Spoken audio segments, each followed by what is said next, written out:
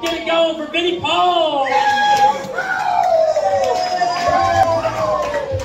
Howdy, Court. Can I get a yeehaw?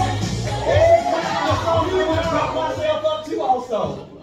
He, hey, you was that only one wearing a hat tonight, cowboy. Give me a high five, right? Don't leave me hanging like like a black guy at a KKK rally. All right. He, he was there, man. I'm talking about Civil War jokes. He was there when the Emancipation was signed.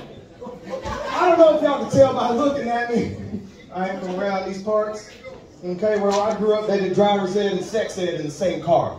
Okay? And then later, there's a quadriplegic named Ed. Had sex with them in the same car too. Look, I told them I was moving to LA. They thought it meant Lower Alabama. Look at me. I can't afford sleeves.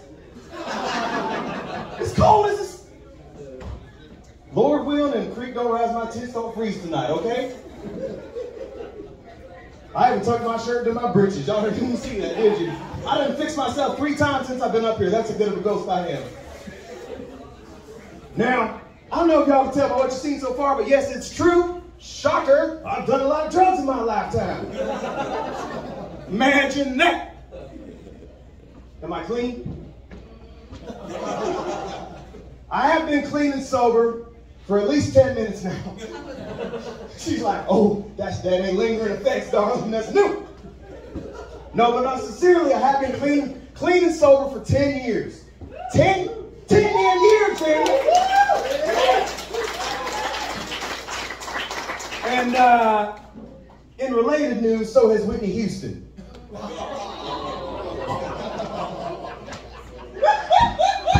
Stop it! I need an adult. I can't believe I shaved for this. Hakuna Matata. There's a hole in the bottom of the sea. And now for something completely different. While we're on the topic of things the Pope would say while wearing a Jamaican colored yarmulke on Easter, men suck better dick than women do.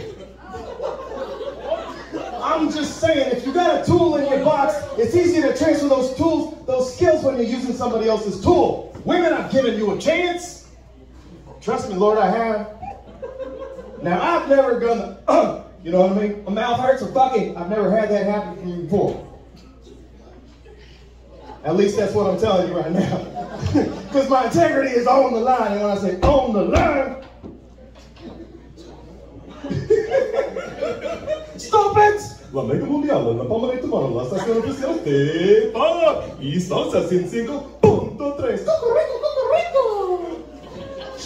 this is how you on the horses in Venezuela. Y'all ever been to Ethiopia? Y'all want to hear an Ethiopian joke? Yes. I do transitional material, by the way. Not just not here. Here's my Ethiopian joke. I'm the way in duele mi kunjo. Mira, mira. Roughly translated, that means I'm selling dimes at the car wash that look like 20s. I, uh, I, I'm married now. I, my wife loves me, that's what she tells me. A dyslexic walks into a bra. You ever seen a dyslexic rub a bank? Put your air in the hands, mother sticker. This is a fuck up. Are you? Was that the one? Yeah. That was the. This... Oh, namaste.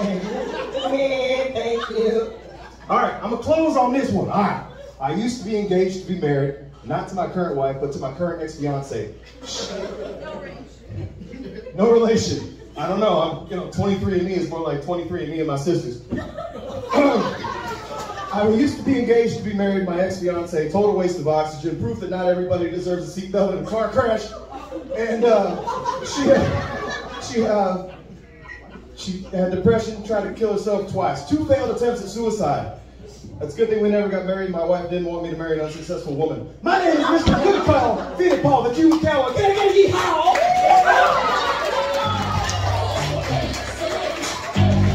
Late show, baby. The late show. Give it a more time for Vinnie Paul, gentlemen.